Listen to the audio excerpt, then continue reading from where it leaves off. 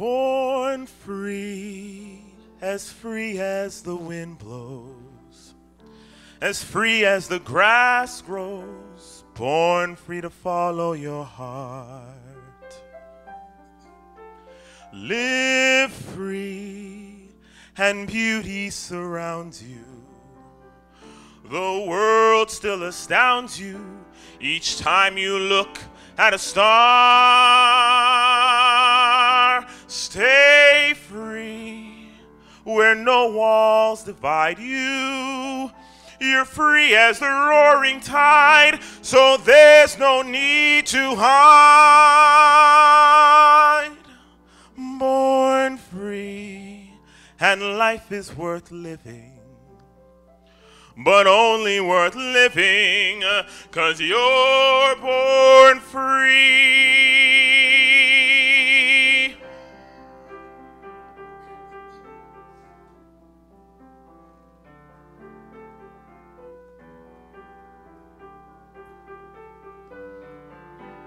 Mm, stay free where no walls divide you. You're free as the roaring tide, so there's no need to hide. Born free, and life is worth living, but only worth living because you're born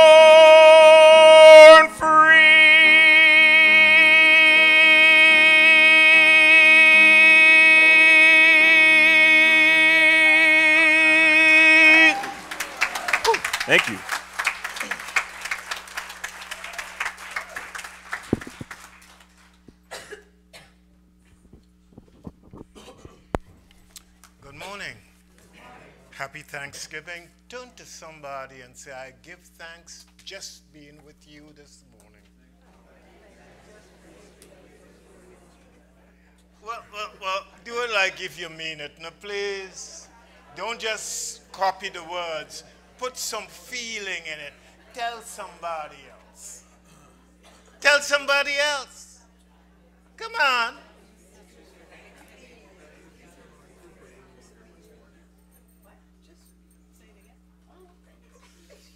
Some of you only only come alive when there's turkey. There's no turkey here.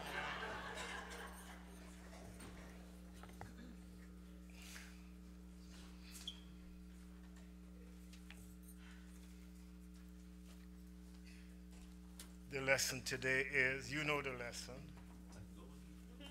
What's the lesson today? Let go.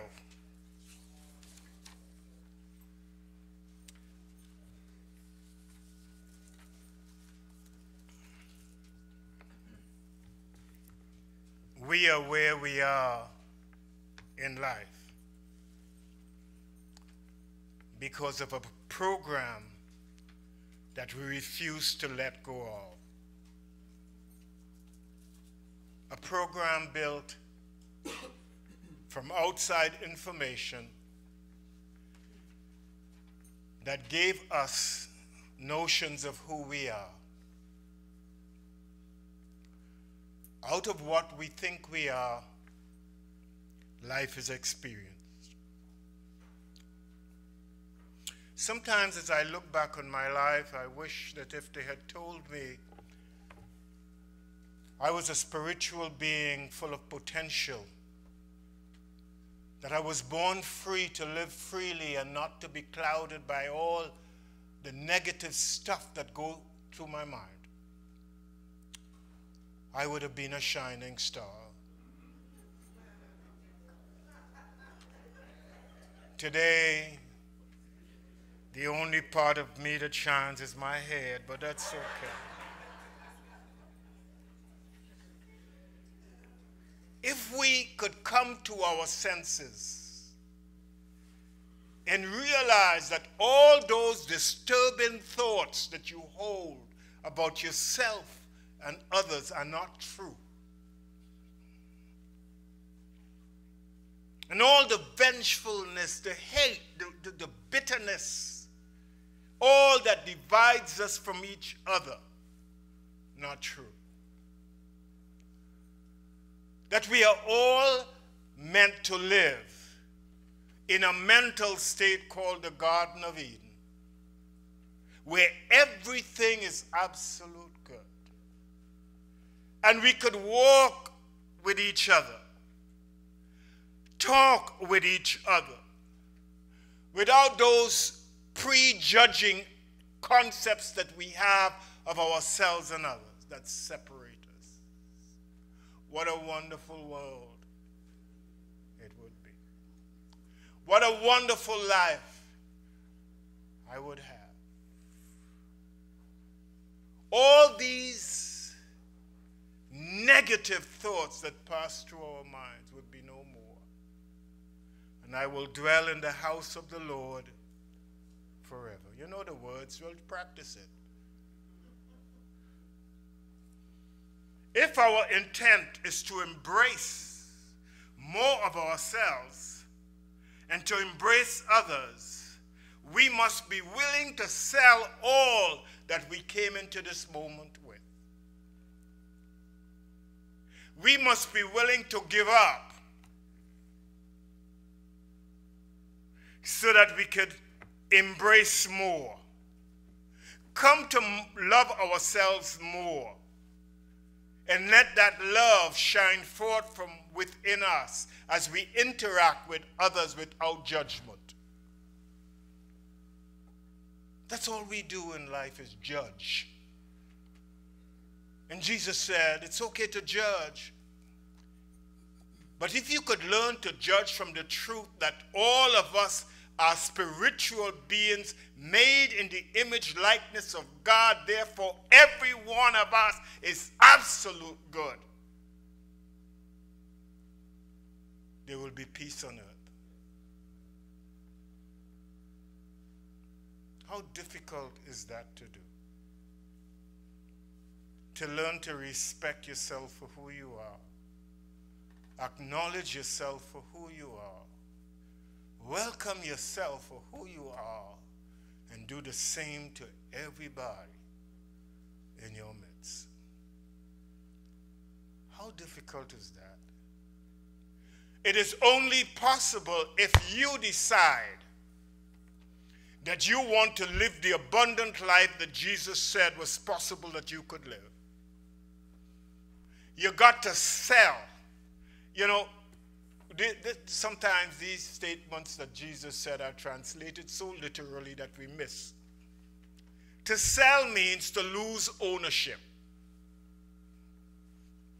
If you rent it or lease it, it is still yours. So Jesus was emphatic. Go sell all that you have. Go give up possession of all that is unlike the nature of God. And when you do that, you could come and follow me, representing the Christ in me, the perfect idea of God in me. You cannot serve God if you have one iota of bitterness, vengeance, or hate in your mind.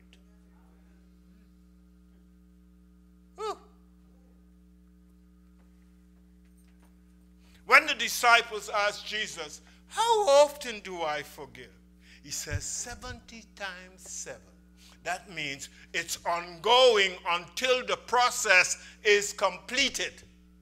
You do not know how many steps it will take to walk to Yonge and Bloor from here, but you keep going without counting and just practice and do what you need to do until you get there.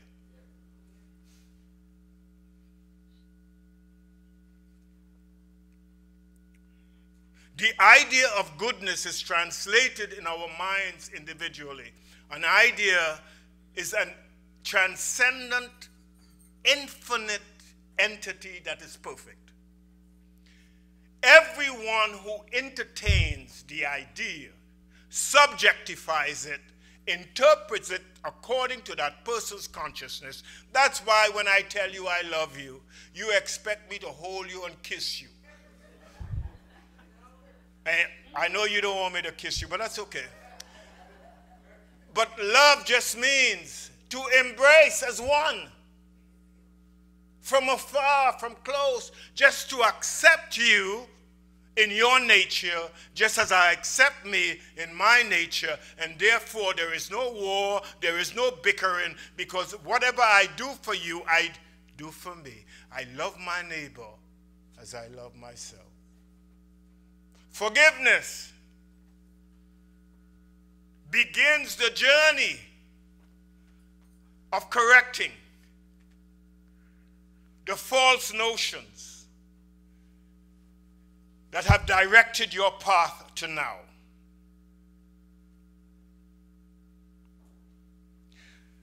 In Matthew 7 1 to 5, Jesus said, Do not judge, for the way in which you judge others, you will be judged. What you think about and you send out comes right back to you. So you can hate me as much as you want. It ain't gonna do me nothing, gonna do you. When they examine your heart, it will be black. And the wrinkles on your face would make you look miserable. And I would not even have a pucker on my brow. Because what you think about me is none of my business. The evil that men do live after them, it's interred. The good is interred. Let me tell you something about negative thinking. Negative thinking cripples you. It's crippling.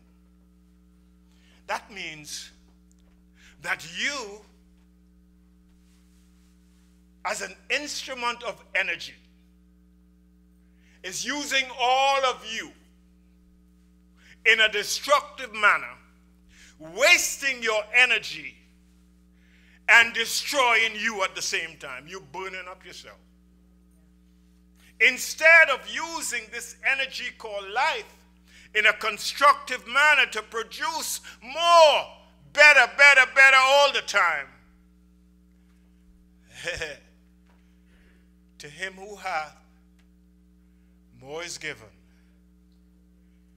And to him who hath not, more is taken away from her.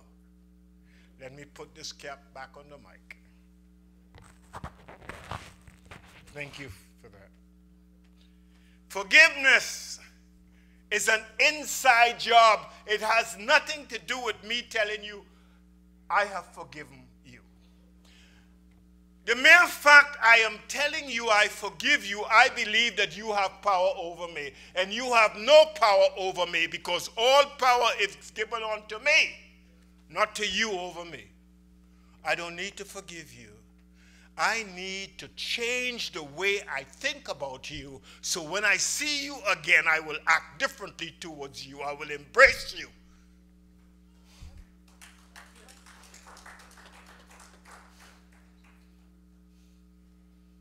The Son of Man has the power to forgive mistakes.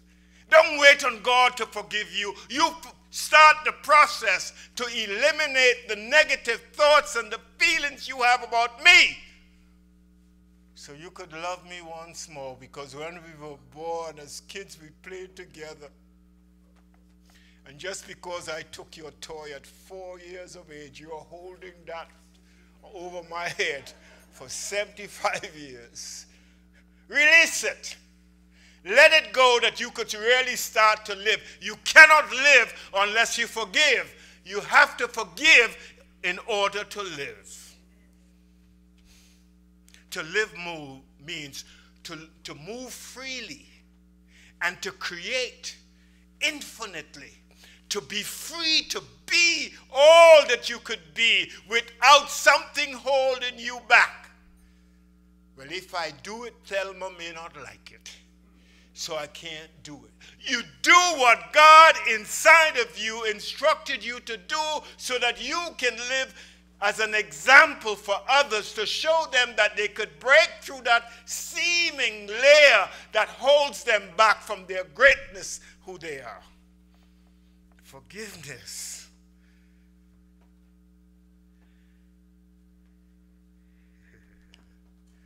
How simple it is. If I have something in my hand and you offer me something else,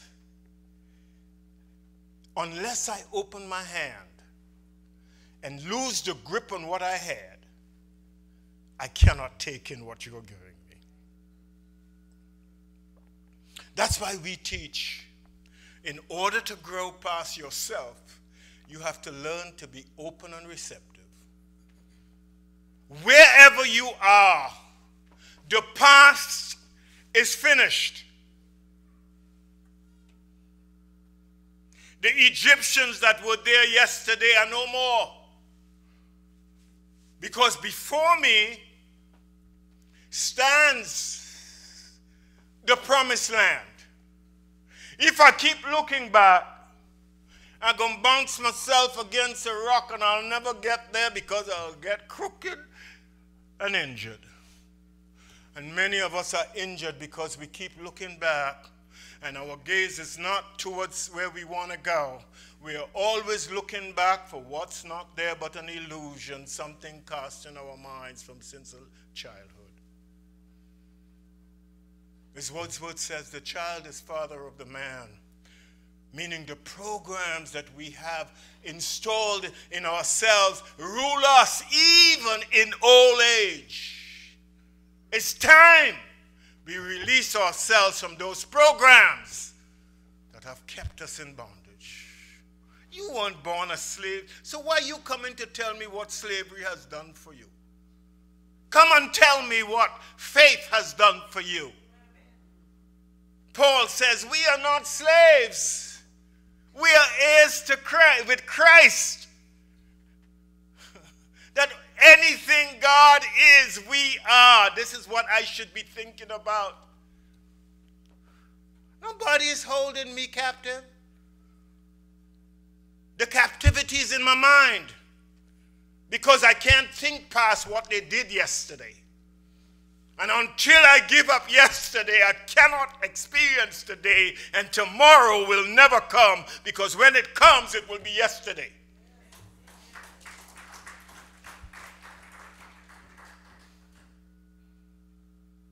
Jesus to his disciples, love ye one another. You know, it doesn't take anything to hate. You know how much work it does to, to love? Wow! Because love God calls for forgiveness. And to forgive is a big job because your mind keeps telling you, oh, how could, did you, there's something wrong with you. How could you? Don't you remember what he did? That beast? Oh, Lord. Do, do, don't you remember? But I want to release that from. You can't do that. That's your, that's your ego. The ego does not love, does not like to forgive because it has to remember to stay in that war zone that it has created called life. The, the ego thinks that war is living.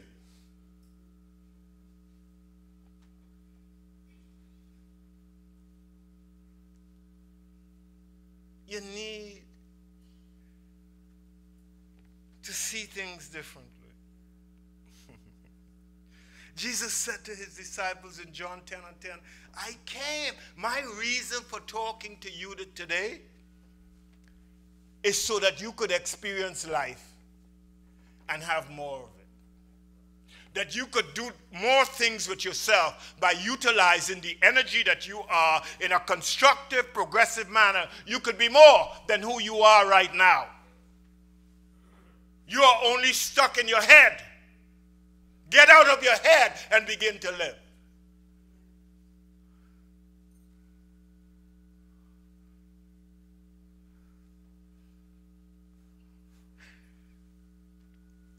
I have witnessed in my experience that the people that I didn't like, that I hated, had more friends than I did. And I started to ask myself, you're so self-righteous and nobody comes to you. How come those people that you call the devil have more people in their lives than you? And they're happier than you. They don't have any hypertension. They don't suffer from any diseases. And they are always pleasant and mild mannered. And you stressed out.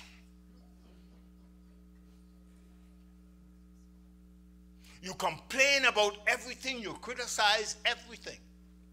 How come?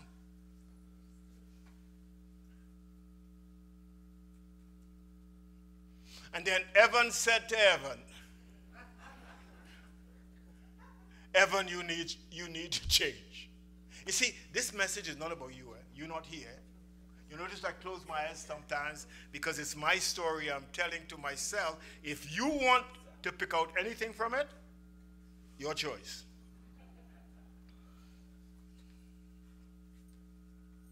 So don't believe I'm talking about you or to you.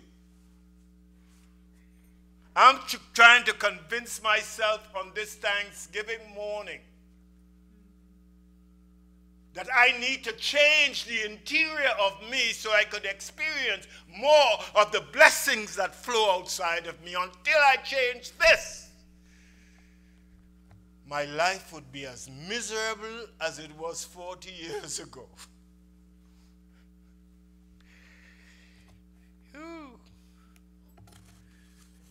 Wow. Forgiveness is possible when I accept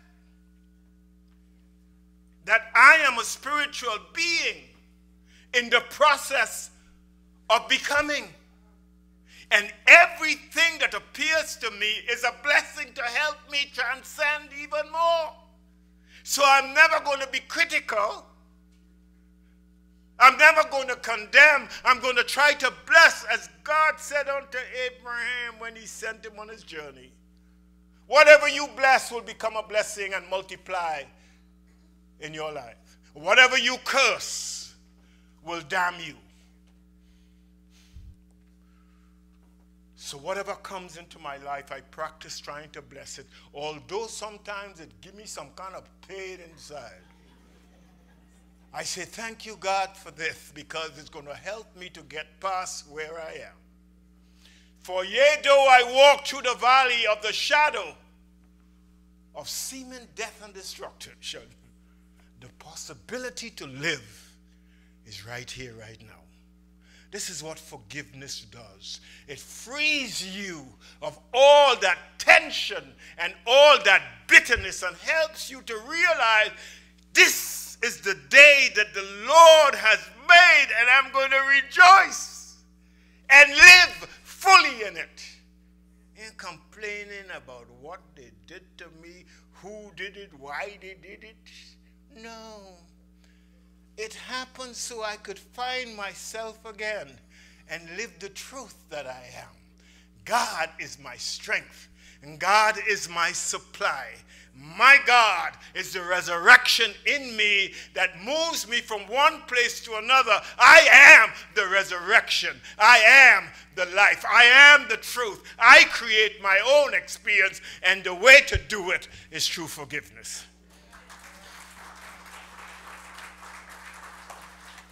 This ego of ours is so brutal to us. It likes to keep us where we are not supposed to be. When we free ourselves from the power of the ego, things happen. I, I want to read from the book because they accuse me I don't like to do that. I'm doing it for them.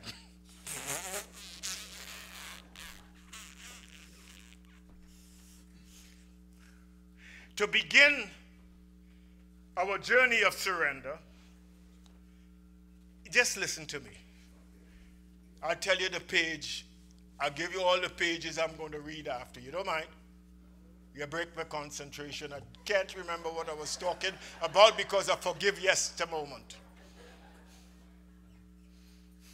To begin our journey of surrender, it is essential to embrace every living thing as an expression of source energy. Whether this seemed like an overstated spiritual insight or a concept we may not have directly experienced, the depth to which this truth is honed determines the course of our misery. Try in every moment, close your eyes, bring all your enemies all the situations that have been destructive and see them and embrace them as positive energy.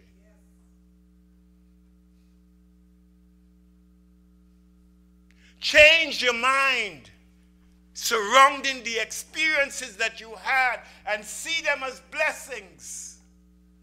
And see the transformation that will begin right here, right now, as you transcend from the level of coarseness, negative thought. Feel the transformation that is taking place as you begin to see everything that comes into your life as a blessing and give thanks and sing that song. Praise God. Thank God that you came into my life because I would never have discovered that I have the power to overcome to reach further to the stars, to climb the mountain a little moment, because I'm halfway up the mountain. And a bee stung me. I thank you, bee, for coming to help me be more than I could be.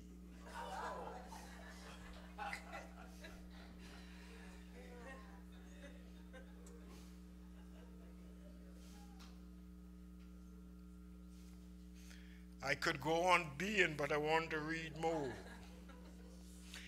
In the heart of surrender, what we perceive as personal criticism from others in our own judgment of somebody else's pain, while it is easy to interpret somebody's judgment of you as an attack, at a deeper glance, we see someone so entrenched in a healing journey that they may not understand that their only recourse for momentary relief is to project their frustrations on others. I, I, I, I, Janet, this is a piece that I was telling you about I gave you, right? Did you bring it today? Yes, she got it. We, we, when we were planning these lessons, I read this and I gave her a copy of it. I said, Listen to this we perceive others from our own internal interpretation of what is true. Hello now. So when you are doing your dance in front of me, I am describing your dance the only way I could because that dance to me represents something that I have described. Wow. So although you are dancing me and inviting me to a party, I see that if you don't get out of my face, I go kill you. That's your interpretation. Everything that happens to you, you interpret according to your mindset or consciousness. Stop interpreting based on your prejudgment. See things for what they are right there. An opportunity for you to help you change your mind. No, no, this is not, I'm not telling you it's going to be easy. Who say the road will be easy? You know that song? I do. Don't sing it. I won't. and you, you don't get up. you, you understand? This is a new way of approaching life. Don't, don't don't read what people are doing. Let them do what they're doing and bless them. You don't like it, walk away. And don't walk away with them on your mind.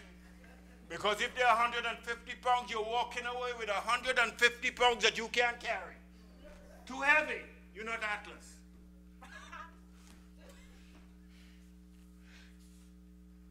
oh boy, this is heavy, boy. Isn't that one heavy? When aligned with source energy, we don't have to be victims of other people's abuse. So, because I am always a victor, you could do whatever you want. I am not a victim, so I don't see victim. You could never abuse me. I am incapable of abuse. Because wherever I am, I transpose the energy in front of me as energy to lift me up and build me to a new place so you could do whatever you are. I am not afraid of who can destroy this body, but if you could destroy my mind, then I'll be afraid of you. For who controls your mind controls you.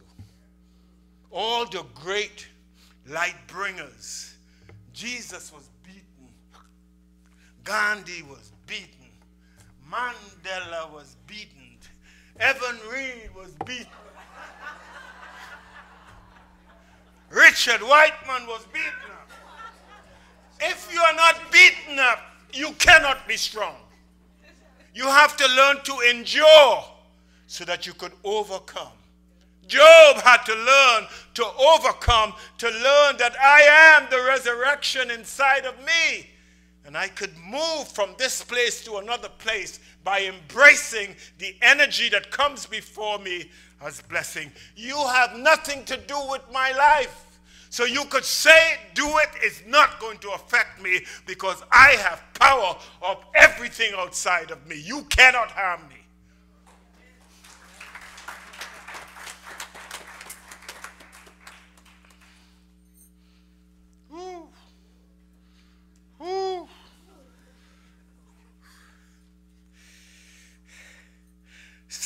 Forgiveness begins by remembering each predator,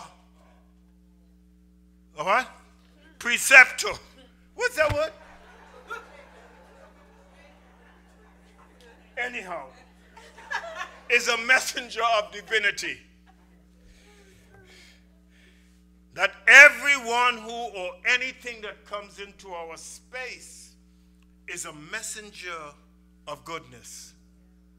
They come to bless us.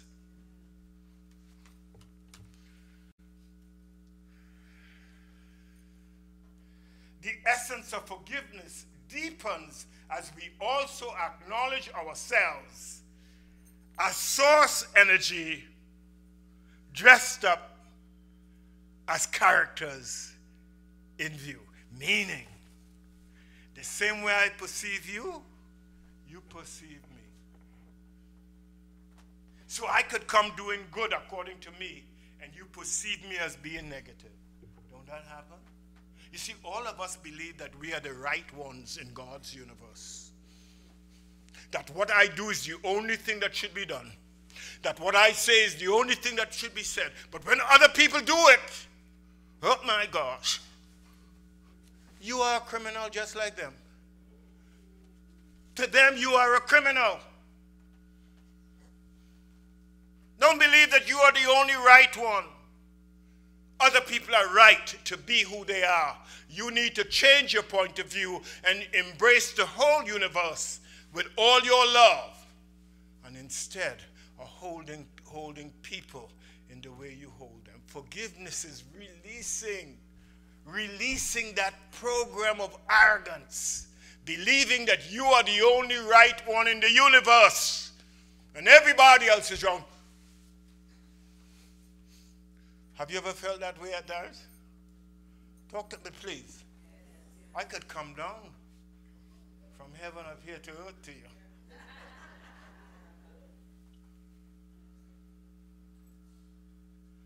Every one of us, because of the ego, the ego likes to lift itself up, put it on a pinnacle and believe that it has arrived. Like, that, that's the story of, what's his name? The archangel who fell. What was he called? Hello? Not Michael didn't fall. Michael is the one who lifted up. Who's the other one? Who? Lucifer. Lucifer. You know who it is. Say it. Lucifer is that ego in us that lifts itself up and says, I am just like God. Look at me. As bright as the morning star. Come and worship me. Look at me. Hello now. I am the senior. Don't you know who I am? I am the senior minister. When in my presence you kneel down.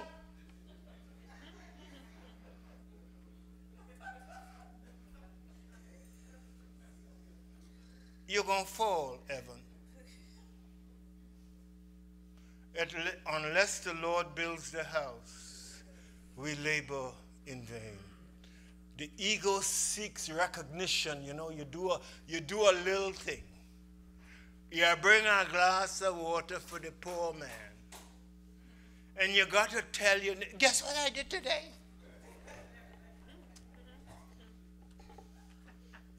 You're looking, all recognition should come from the act when it's done. Give praise to God for being able to do what I did because God gave me the energy, the foresight to do it. End of story. You know, Evan didn't tell me thanks for two years. That's why I don't come back. I'm still waiting. And he has a way with them funny eyes when he look at me. I know he's feeling guilty. we make up stories to satisfy the demands of the ego.